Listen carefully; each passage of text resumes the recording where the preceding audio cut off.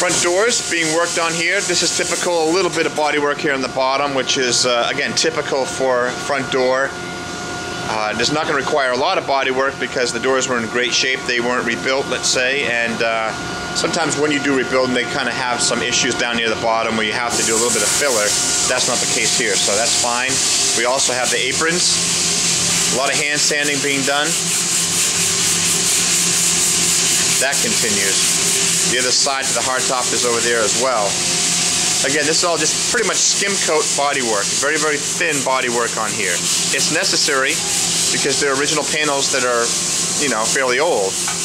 But um, there's not we're not relying on the bodywork as the base. The base is certainly good steel, and that's what uh, we have here in this case.